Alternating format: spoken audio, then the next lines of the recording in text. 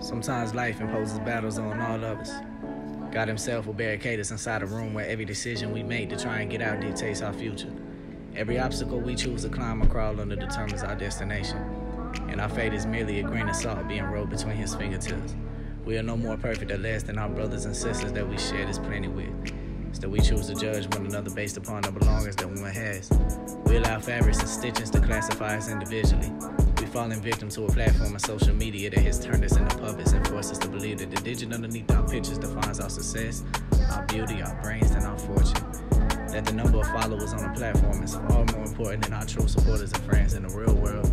That spending time in a false reality to please people we have never seen nor met outweighs loving our very own families. You'll find your own meaning of success.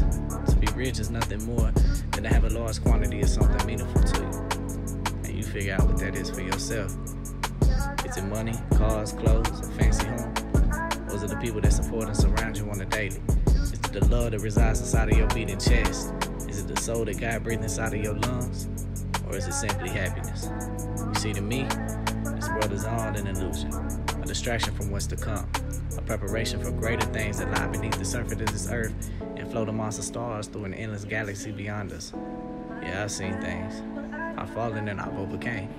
I've been beat down by life to the point I never wanted to move forward. But something inside of me always said, keep going. So here I am, standing ten toes down and staring life and death both in the face, ready for whichever one chooses to battle me first.